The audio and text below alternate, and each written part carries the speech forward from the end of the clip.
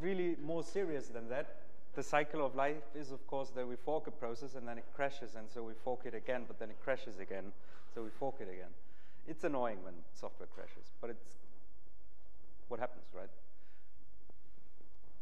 So what does a crash look like, right? We get a segfault, for example, then KCrash comes in, intercepts the signal, it launches DrKonqi, Dr. Conky starts GDB, GDB spits out a trace, and then the user has to file a bug report. All of this is incredibly tedious and horrible. Who agrees? Okay, okay, I will, I will convince you all. So in KDE software, we kind of have a problem. So it is software, so it crashes. And then those crashes end up in Bugzilla. And who here has used Bugzilla? Who here liked using Bugzilla? yeah. Case in point, sad developers, sad users. It's not ideal. So we have a crash, and this lovely pop-up pops up. Everyone has seen that, I guess.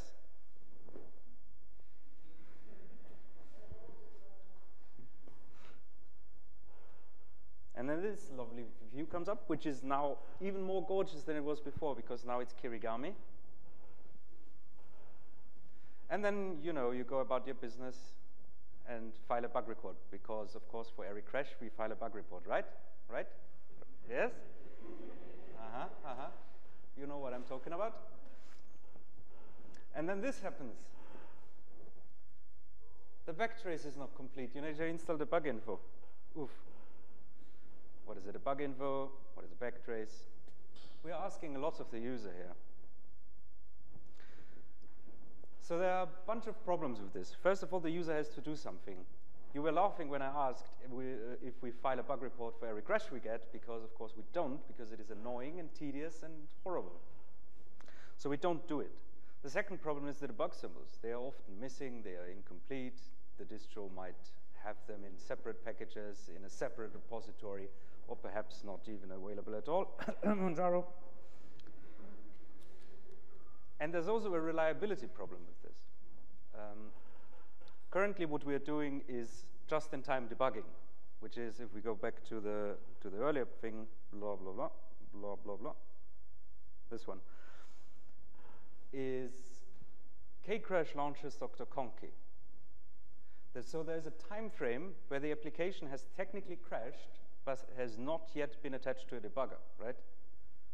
Are we, anyone unclear about this? Okay. So in this time frame, the application can do whatever. It can crash in another frame. It can, it can run its threads and do magic, I don't know. Can try to do auto recovery. All of these things. And so that is a problem. It is a problem because we do just-in-time debugging.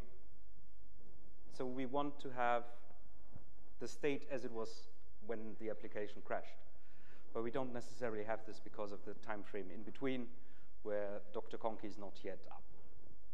And so it's a reliability problem. There have been bug reports to, Dr., uh, to this, uh, Discover, our software center, that showed crashes in uh, libflatpak, which was weird because there was nothing weird going on in that particular frame. But it was crashing there. And the reason it was crashing there was precisely because of this time frame between, between the actual crash and when DrKonqi jumps in and saves the show, right? So the Flatpak thread kept running, and eventually it would crash in the Flatpak thread because the states were messed up. So it's entirely horrible. So there are a bunch of solutions uh, that have come up in the past couple of years. One of the lovelier ones is CoreDumpD, which is uh, systemd's answer to uh, caching crashes. Oddly enough, systemd is now is, is also in charge of that, so it's not far to the complete operating system now. Um, so it is a system-level core handler. Who knows what a system-level core handler is? Okay. So when, when an application crashes and doesn't handle the crash, uh, the crash gets deferred to the kernel, and the kernel then does it, what's called a core dump, right? That's where the concept of a core comes from. It basically takes the entire memory image of the process and dumps it into a file. The more evolved concept of that is that one of a system-level core handler, which is essentially a program that receives the crashing application and then writes it to a file or does whatever with it. In CoreDumpD's case, it basically saves a bunch of metadata and then dumps the, the core to a file for later inspection. Now the lovely bit about this is that it has uh, disk usage limits, so it stores, I don't know, five different crashes, the, the last five different crashes on disk, and all other ones get discarded. So you have automatic rotation of what is on disk, which means it doesn't grow out of control if, I don't know, KWin is super crashy and you get a bunch of cores and then eventually your disk is full. That doesn't happen. And as I've said, it's recording metadata, which is also very lovely. Another interesting and important part to the, to the entire ecosystem is debug infod, which is solving this debug symbols problem that I've alluded to, right? It's one server to debug them all, one server to find them, one server to bring them all in symbols, bind them. Um, it is precisely that. It is super simple, and I'm, I'm somewhat baffled that no one had this idea earlier. It's basically a cross-distro server that allows you to ship uh, debug symbols in, uh, through a simple REST API to a client. Now, the client might be GDB, might be LLDB, might be some completely random other process. Who has seen debug info uh, D in, in action? Okay. The rest of you will sure, surely see it in time. Um, so it's become uh, pretty much the standard in Arch Linux, I think. Um, so you need GDB 12, fairly recent release, and then your distribution needs to provide a server, and then you're basically set. You need to set an environment variable, and then GDB just goes, give me the symbols, and then the server goes, yes, my time to shine. And yeah, it's fairly new, that's why there were not a lot of hands that got raised. Now the industry standard is a bit different than that. The industry standard is you call home, first of all. That's super important. But it's also automatic, right? If, you, if, if, if your application crashes on Windows, then this annoying pop-up comes up and goes, oh, the application has stopped responding. Do you want to cancel me? And then you click cancel. But that also allows the industry standard to be uh, to, to cover, cover way more data and, and gather statistics and stuff. So wouldn't it be lovely if we had that too, right? So we have debuginfod, which gives us debug symbols. That's amazing. We do have coredumpd, which allows us to not do just-in-time debugging and eliminate that sort of quirkiness. So wouldn't it be lovely if we had something like that? Well, yeah, we do. We do now, kind of many, many uh, asterisks attached to that. It's called Sentry. So what is Sentry exactly? It's a web application, and it does a bunch of stuff. It does symbolication, so if you have a crash and it's missing symbols, we don't need to care anymore because Sentry takes care of it. It's going to talk to the debuginfod and goes, I have this frame at this address with this shared object. Can you give me the symbols? And then send, uh, the debuginfod gives out the symbols, and it's going to be amazing. Um, it does event aggregation, so if you have crashes coming in from two different users that look exactly the same, Sentry goes, whoop, yeah, that's the same crash, let's bind it together. It also gives us metadata, like what distribution was being used, uh, what version of the distribution, what version of the software, and a bunch of other lovely stuff that I'm sure we will eventually see in production. And that's kind of what it looks like. And of course, that's super boring. So, uh, live demo time. Wish me luck.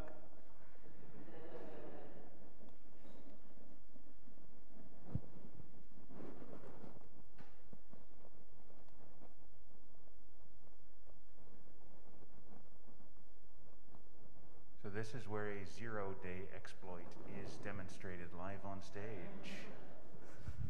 I should hope not.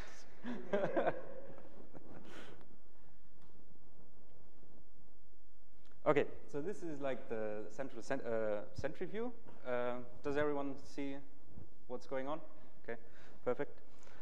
Um, so we have a bunch of projects, and while preparing for this talk, I noticed that there was a bug in our Bugzilla bot.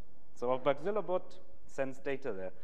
We can already see a bunch of stuff. So first of all, in the past 14 days, it had no crashes. It was 100% crash free. Woo. Ah, amazing. Um, and it has two releases. Now this down here is something that is specific because it's kind of like a web service. So it's sending uh, performance metrics to Sentry. It basically goes, I've done a request, I've done a request, I've done a request, and then Sentry goes, this request was way too slow. The user is going to be in agony. What are we going to do? But so what I've noticed is down here, we have a new issue. And so let's look at it.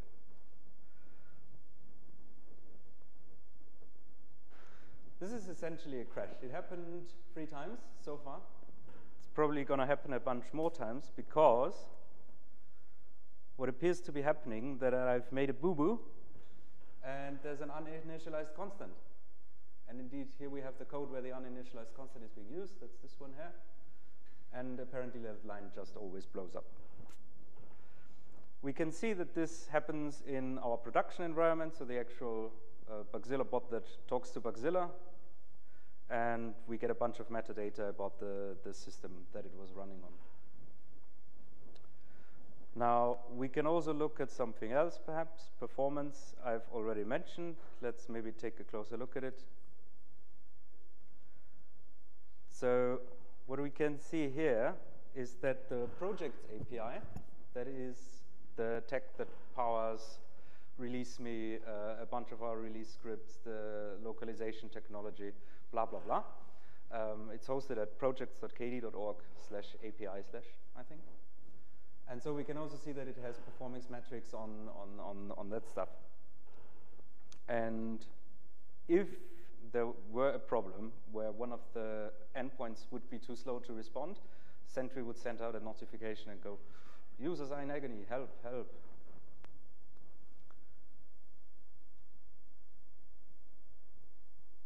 Now let's look at uh,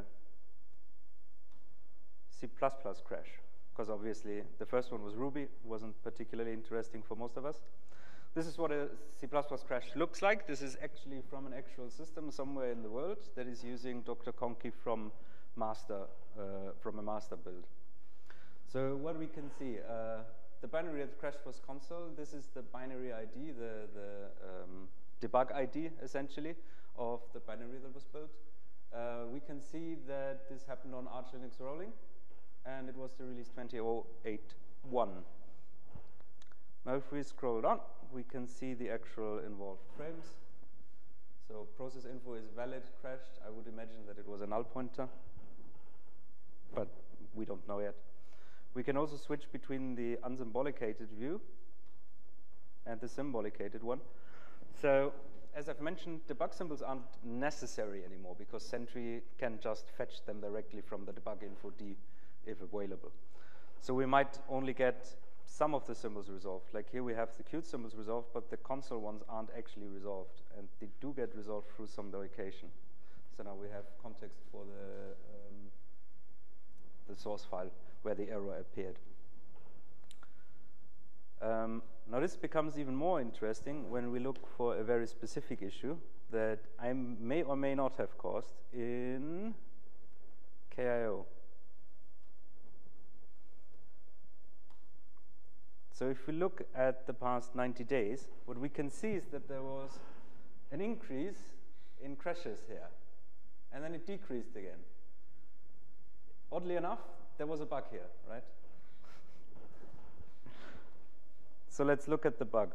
We can see that this bug has happened 404 times. Let's look at it. Yeah, I found it and I fixed it. Yeah, it, it takes a month to, to ship out, right? It's the problem with the release cadence of framework.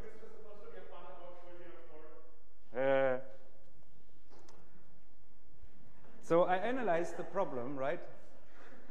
And then Nicholas and uh, I did I did do both things. So I did fix it properly, I think. But so if we look at it, it's actually not a super useful backtrace because it failed in KIO directly. In KIO, we have a state assertion system, and we failed in assert. Super inobvious what the problem was, but what is interesting about this is here on the side. So here we can see different shades of colors for the OS, right? So this happened with multiple OSs, the biggest one being Garuda Linux, apparently, then Manjaro, and then Arch, right? So what we can tell from this information is that this bug must clearly not be uh, specific to one particular distribution. We can also tell that it is possibly not in one specific version either, because it had different build versions, right? Now, obviously, they could still have the same patch applied that breaks it, but it's more and more information, and the more information we get, the better. And yeah, that pretty much gives us information. Um, another interesting thing, perhaps, is the device family, uh, where we can know if it happens only on a laptop or only on a desktop. Uh, laptop laptops, of course, having different use cases like more plug and play than you would ordinarily do on a desktop.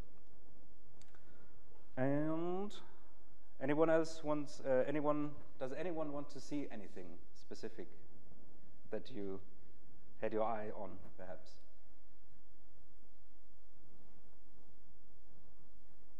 Very good. So the other thing then is, how does this tie back into Bugzilla?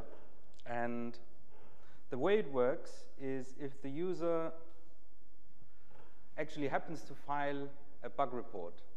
Oh, I actually didn't really mention this to you. The data to Sentry gets sent the moment the user opens the developer information, not when filing a bug report. So we've removed this entire problem of having to open the thing and then uh, I was doing this and that, and then DrKonqi goes, this is not enough information you cannot possibly file a bug report. Um, we've bypassed all of that.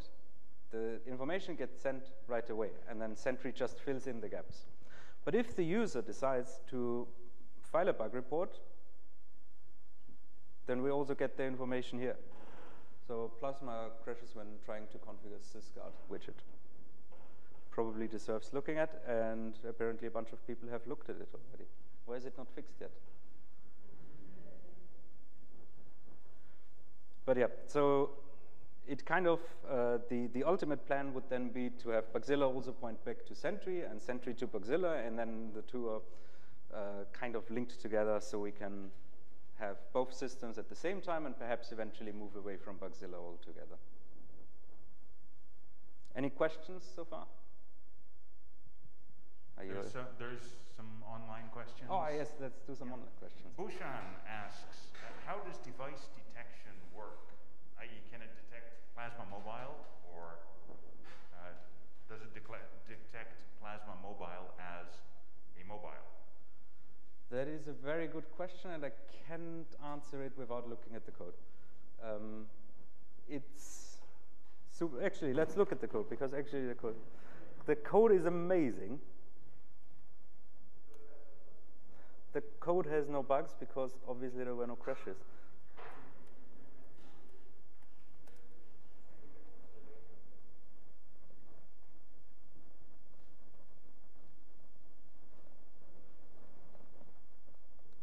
Whoop.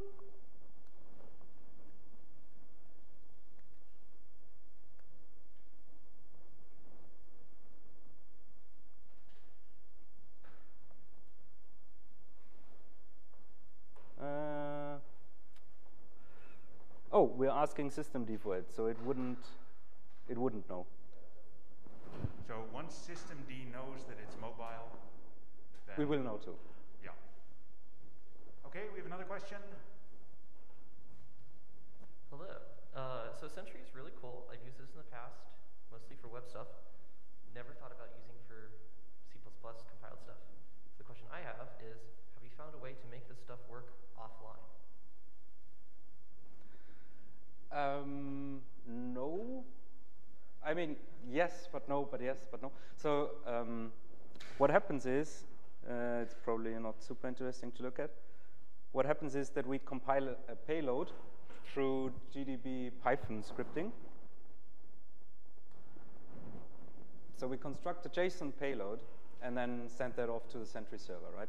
In an offline scenario, we would just store the JSON payload for submission at a later date. And then you would have like a systemd timer that runs continuously and checks if there are pending payloads. So it can be done, uh, it's not done right now. Store and forward is where it's at. Yes. Other questions from the room? I see a question way back there.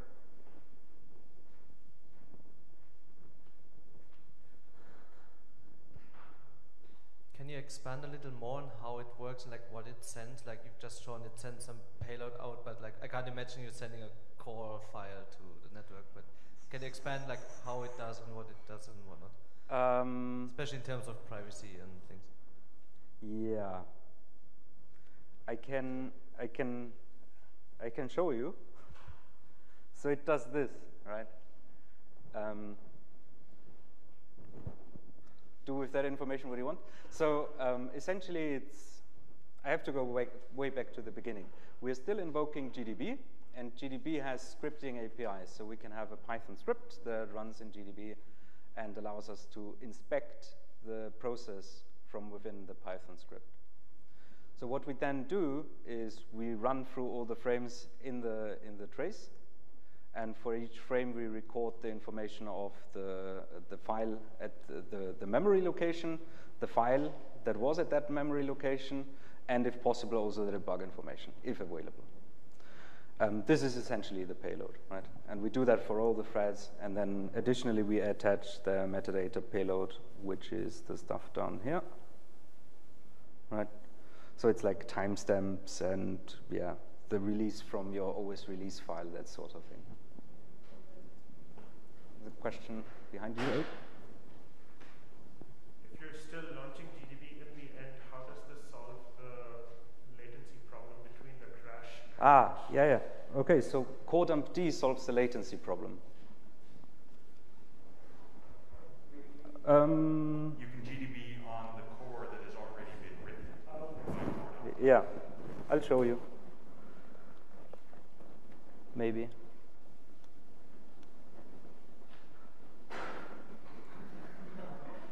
Maximum wobbliness. Okay, so if we do quorum control, these are all the crashes that had happened on this system. And we see uh, most of them are quite old, and uh, the column here says missing, so the, the core file is no longer available. So we will look for one that is actually available, which would be this one.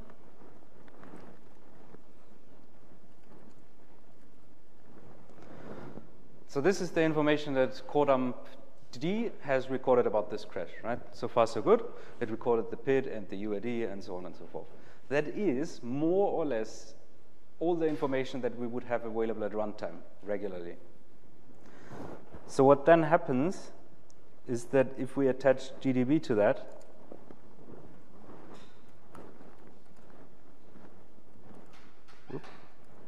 we can run a backtrace on the core, right? So this is no longer just in time. Kwrite crashed a while back.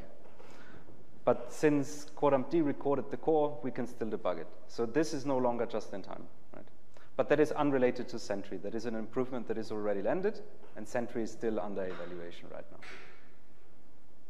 Okay. Thanks. How do I use uh, this as a Sentry uh, for, my, for my applications uh, for calendar? Um, Can I use the service? Uh, is that really online? Uh, uh, how to use it in your application? yeah. Um, um, ideally, you don't need to do anything because it wires into the existing DrKonqi framework. So if DrKonqi works, Sentry will also work. Um, there's some management stuff that I need to do to actually filter out the projects though. So if we look at our projects here, there's one very notorious one, which is called fall through, which oddly enough connects, collects everything that has fallen through the net of other projects. So unsurprisingly, it had a number of errors. But yeah. Um, so ideally, you don't need to do anything. So Hisham has another question for Yes? you. And that is, how do we do this on FreeBSD? Oh, Yes. oh, of course. Yes. Yes. I'm. I'm certain he is. Yes. And, and other non-system D, non-cordon Yep. Yep. So the entire cordon thing is separate, right? We can still do just-in-time debugging, so nothing's changed. Everything's still the same as it was two years ago, except if you're in systemd and except if you opt into this coredumpd stuff, right? But the Sentry stuff is unrelated, and so you can still have the Sentry bit on FreeBSD without coredumpd. All right, thank you. And Julius asks, when will we see this on our desktop? Well, if you use Git master, then already, but only then. So this is currently under evaluation, uh, Sentry as a platform. There are still some quirks we need to iron out. There are still some features that we are not quite happy with how they integrate with our GitLab instance. So uh, technically, we can link up the, the traces that we've looked at to the actual source file, like we've seen with the Ruby crash, where it actually referenced the source code.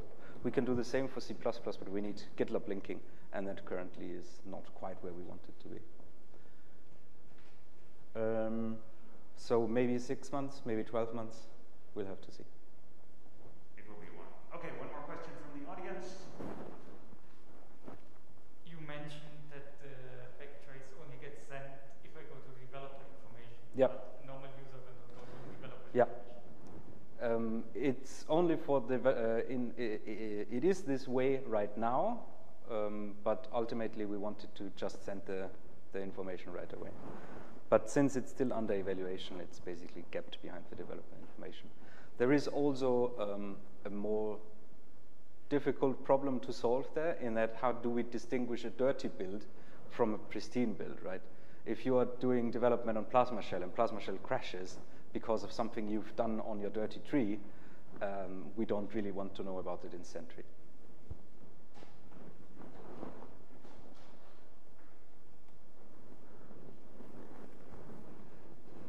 Uh, another question? Yeah.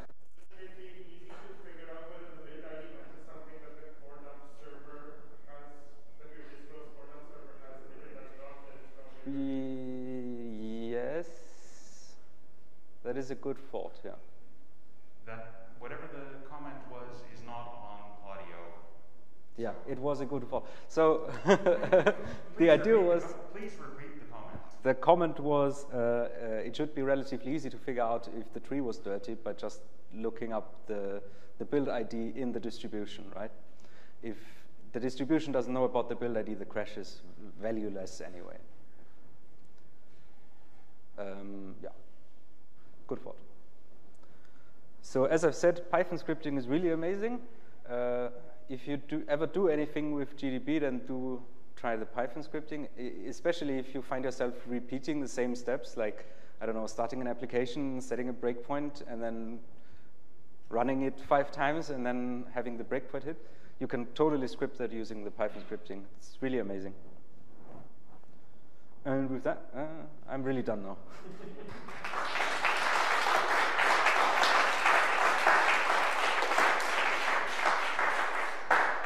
We have one more question Yes? from online from Nicholas. Uh, where did those, you've got 400 crashes in your Sentry. Where did those come from? Did you make them yourselves? No, from Git master builds. So those are, that is real live. That is real life data. There are some crashes that I've created, but not those ones. No. Okay, if there are any other questions, speak. So, uh, once again, this is really cool. Uh, you said that Sentry pulls it from a debug info D, but how do our symbols get into it, given the near infinite number of distros and From the distros themselves. They just submit it, or they run their own? They run their own. So debuginfod is a federated service essentially. It can talk to other debuginfods, or it can source them source the material directly. And so each distribution just runs their own debuginfod, and then we have a federated server that talks to all the known ones. I just learned so much about that. Thank you. Welcome. I had no idea that was that, that easy. As a distro owner, Yeah, you should totally create a debuginfod. Okay, if there are no other questions, comments, poems to be read, then you have an extra long coffee break.